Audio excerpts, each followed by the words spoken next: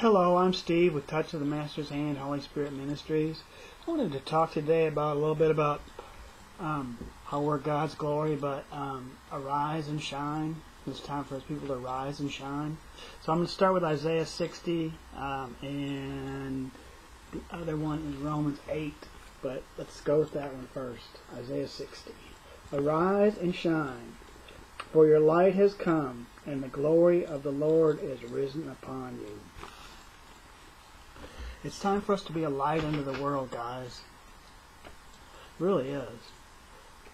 Um, all this other nonsense that seems to be going on all around us, and just, I mean, anywhere you go, it's just, it, where is, where is glory, guys? Where is light?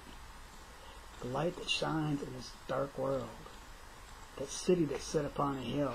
But I had a dream this one, I've been getting a lot of scripture early in the morning. For whatever reason, Lord been waking me up at like four in the morning. But um, I had this dream the other night. I've been getting scriptures in dreams, and the dream in, in the in the scripture was Romans eight twenty seven. But it ties in with the glory. Sorry, guys, I should have already had it marked.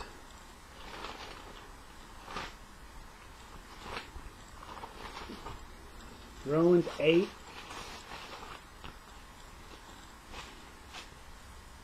I'm going to read 8 and 27, but then there's other parts of it too.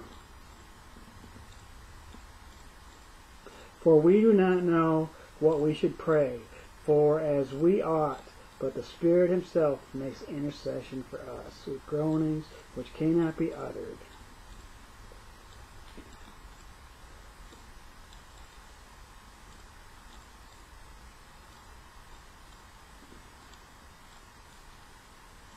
Okay.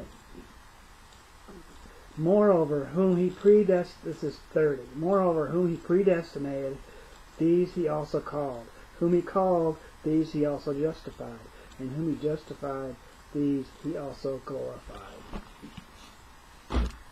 If you're claiming that Jesus, that you're born again, Jesus is living in you, God, Jesus, and the Holy Spirit, Holy Ghost, you know, um, Here's glory, guys. Time to shine. Rise and shine above all the stuff that seems to be going on all around the world, you know. Uh, you turn on the news, it's just a lot of crap, really. Darkness and stuff all going on all around. My wife and I minister at a homeless shelter. Dark, dark world down there. Yeah, a lot of them self-inflicted got there by their own choices. I get it, I understand it, but there's also mental illness prevalent in there, drug addiction, alcohol. It's just, you know, it's hard to break through some of those people. But it can be the same way in the church, too. I don't want to be the finger pointing guy, because I got a prodigal son experience after ministering in several different churches, walking with the Lord strongly for years, and then became angry at him. Just look at some of my other videos and mostly over nonsense, really, blaming God for stuff that really wasn't true. God had nothing to do with it. It was my poor choices, me. I get the grace piece. But God told me to plow down the center of this.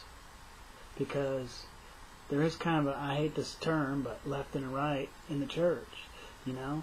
There's judgment, a lot of judgment on one side of it, and there's just everything's God's love, and you can kind of pretty much do whatever you want. So, some of the things he's telling me to say, I'm still working on the delivery because I don't want to be that finger pointing guy, and I don't blame the people but the leaders of a lot of this religious stuff that's going on in this world, claiming to be God, are in trouble. They can't keep spitting out lies to people.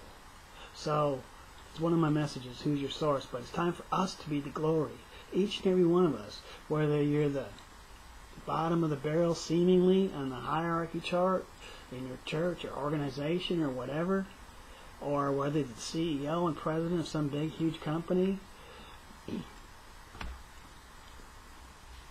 Widow's mite or David, who was a billionaire. Okay? We put emphasis on stuff.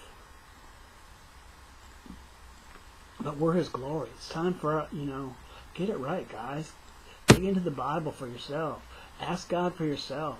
Search, you know, not just my messages or what I'm saying, but what other ministers are saying to you or preachers are saying to you too. Is it right, God? Is it the truth, God? Am I getting directed in the right way, you know? I mean, I'm not advocating non-authority either because God has author- authoritative figures in our lives, you know, and there's a purpose for that. Wherever you're at in your church, if it's a true church, if it's a true move of God, if it's truly Him, we're all on a journey. So you, you know, you may only be partially there, you may be a lot of the way there. Sometimes God, you know, God was dealing with me about another thing about, um, you know, us being the glory and the light and we as people put a lot of emphasis on exposure. God showed me this, God showed me this, you know. Prophet is a such a ill-used, misguided term nowadays. A lot of people want to claim to be prophets and apostles. We're all prophetic. And then if you don't agree with them, doom and gloom, and God's going to destroy you, and I'm going to call fire down from heaven because you didn't agree with my opinions. There's just most pro- most of the prophets didn't even want the job. Why would you want that position that job? You know, I just want to be that vessel that God called me to be, and that's where we all need to be. That vessel, wherever it's at. You may just your glory may shine, and just the fact that you're raising your children to be godly men and women of His. You know? I don't know. God's going to give you direction and lead and guide and direct you to all truths. That's why He gave you the Holy Ghost, the Holy Spirit. So, but He told me about the exposure. But He said, He's the light. So are we. But it's to deliver people. There's a solution to it. Come out. Not just point it out. Look at all this bad, wrong stuff. You know, some people gloat over the judgment piece. Glad that people are falling. Ministers or even people in the world. It's like, man, really? Guys, come on. There's a better solution to this issue. A better, it's Jesus. Follow what he's teaching and showing you. Yeah, there's a, you know, I don't get all the revelation, and, and you know, I'm not even pretend to. There's so many things that, you know, kind of, I mean, we look around, there's judgment all around already. You know, look at the economic collapse of this country. You know, we're broke, guys. Face it, you know. Can't even pay our bills. Problem. Big problem. But everybody ignores it. They stick their head in the sand and they just kind of skate on. You know, Congress talks about every six months or three months or whatever, just borrow more money. They don't talk about paying it back or straightening it out or balancing the budget. I know it can be more complicated than that. Maybe, maybe not. But Jesus has grace upon this land. For how long? I don't know. So that's just one example, but there can be others too, you know. But it's time for us to get our focus on being the light and being the glory and being the hope. Christ in you, the hope of glory. So, shine, rise and shine. What's God telling you to do? Dust off. Whether it's sin in your life, you need to step up. A lot of times God will show you things about others sometimes. Maybe in the ministry, maybe in your church, Maybe your wife, maybe not. Most of the time, it's an opportunity for you to pray for that person. Yeah, you know, you may have to say something. Because Ezekiel 3 7. 3 in Ezekiel 3 about a righteous man who falls and don't warn him. You know, that's in there too. That's in the Bible too. I get it.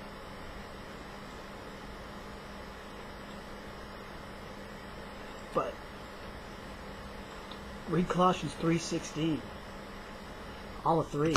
It's about how we treat each other. Where is glory, guys? So that person in the church that you're having a problem with is His glory too. Your spouse that you're having a problem with is His glory too. Your children, they can all test this, children especially. Seems to. There is glory. So we're His glory, guys. It's time for us to rise and shine. We should uplift each other, push each other up, propel. Do the opposite of what the news is. Most of the news is negative. Really, honestly, guys, I'm not just, you know, it just is. They just focus on stuff that's and harp on stuff. I watch it to kind of get a little bit of the pulse of what's going on about the nation, but man, you know, t- tuning in for 30 seconds, you'll be mad about something.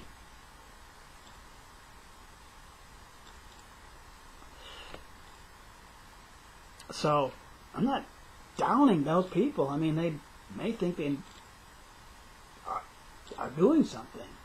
They honestly probably do. Some of them try to be sort of partial. You can see it in some of it, and trying to you know get out get out there. But you know, it's time for the church, God's people, to rise and shine and stand up for the truth and to be that light to the world. And to cry foul when there's when you need to cry foul. I I watched some guy on YouTube, and some of what he said was right. He was coming against a lot of religious, cultic stuff, nonsense that people put into the church or try to put into what they claim to be a church. But the way he was portraying it and downing and then it was like okay great. So what do you do with that? You gotta have where's the hope? What, what am i gonna do? Okay you don't i'm not supposed to do this. What do i do? We gotta have an answer guys. We gotta be that glory. We gotta shine. We gotta teach people salvation bringing them out, bringing them up to a different level in Christ, edifying, glorifying, pushing. Pray for your pray for your leaders, pray for our country, pray for you know every man, woman, and child on the earth. Pray for Vladimir Putin. I, that's probably not even a you know valid point, but it doesn't matter. Russian, Greek, black, white, green, yellow, Chinese, German, it's time for God's people to shine to be His glory in this world. How else are they going to know if we don't step up to the plate? Me too. I'm not. This is this is just me too. I got a wife. I got children. I got a church I go to. I got sometimes issues in amongst there amongst people. We gotta shine. Be better than portray Jesus. So really, that's my message. Rise and shine for the glory of the Lord. That's one of my messages too, and actually that's a book that the Lord's inspired me to write, Christ in You, the Hope of Glory. But where is glory, guys? Let's do this. Just like the Nike commercial. Just do it. And everything you do. And we all have issues and things that we need to just buck up to and take care of and things that need to be peeled off of us. All of us do, of course. But it's time to get into the spiritual realm. That's why I'm, the, my, the part of my message I'm going to end with this. Who's your source? Where are you getting your information from? The internet? Some other preacher? Some other books? Get it from God, Jesus, the Holy Spirit, the Word of God. Get it right, guys. Dig for yourself. Find out for yourself. God's not that narrow-minded that He's going to not, you know, tell one person and not another person. Yeah, He may give you a little bit different insight. He's going to probably give pastors a little bit different insight because they've got the responsibility. A lot of the messages are going to be directional and correctional. But he's still talking to all the saints and the people in the church. Just as much. Or the homeless guy in the street. Or the guy that's a millionaire in the penthouse. Where is glory, guys? Like I said, look at, you know, David, billionaire. But the widow's mite. Nothing. Little itty bitty offering. What did Jesus say? She gave more than all y'all. So we put emphasis on all this stuff. I get it. You know, you talk about money and people get all, you know, offerings and misused and man, that's uh, caught on that rabbit hole. I understand. We just came back from a trip spent 14 days in a row because God sent us on a rest, which we needed in Him, but there was also missions missions trip in there. went all the way up to Pennsylvania, some little podunk town that God told me to go to. Did just long story, but so you do the math two two fifty a day was our budget. We were gone fourteen days. You know, it cost money. It took money to get there. Car, I had to have a nice car, decent car, gas, hotels. I get it. I understand that. I'm not, you know, not narrow-minded. I'm not, you know, one of those guys that's, you know. But we can't put emphasis on that. God can do things without the money piece, too. You know? Mean, we put emphasis on money, status, power, positions. It's time to cut through all that and be His glory, wherever you're at. So anyhow, that's my message. We're His glory. Come on, you know, want to end it with, let's act like it. You know, me too. How do we treat our neighbors? How do we treat our friends? How do we treat the guy sitting next to us at, at church? How do we treat the guy at 7-Eleven that hardly makes any money? You know, you know how much they make. Subway, these different places. You know, a lot of these big businesses, some big retails, and they pay these people nothing, peanuts, expect them to live on that. And we want to go in there and be mad at them when we don't get really good customer service. You know what they're going through. Pray for them. Talk to them. Reach it. Be His glory in your children's life and your spouse's life and your pastor's life. Pray for them. But anyhow, I'm you know this is getting too long. I'm trying to be keep this short, and I find it hard to do because there's so much I want to say. But we're His glory, guys. Let's do it in every realm of our lives, so that the world can see, your neighbors can see, your spouse can see. You know, I mean, we can get into you know, little things or big things. You know, we need to be shining in all that we do. And if we have some issues in our lives, we need to address them. So we can be more of His glory. God wants to use any available vessel that's listening that's the other piece of the same thing. Who's your source? Are you listening? What's God telling you? Go for it. Dig. Don't take my word for it. Don't take somebody else's man's word for it. What's God telling you to do? What's Jesus telling you to do? What's the Holy Spirit, the Holy Ghost telling you to do? What's the Word of God, the map? True direction telling you to do. Lamp on your feet, a light on your path. So dig, search ask. I do that all the time. I'm like, man, God, I don't understand it. You know, I go back to that scripture, trust in the Lord with all your heart, lean not on your understanding. I don't get it, I don't understand. Show me.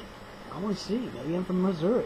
Never been. Not, not really, but been there. But so anyhow, rise and shine, guys. Let's do this. Let's show the world who Christ really is, and why, and what God's plan was Jesus Christ. So we love you. Thanks for tuning in. If you like this message, share it with others. Comment on it. You can email me at steveyoungstrom at yahoo.com. Thanks for tuning in. God bless you. Have a great, wonderful, awesome day. And shine like you're supposed to. We're supposed to be His glory. So, anyhow, love you guys.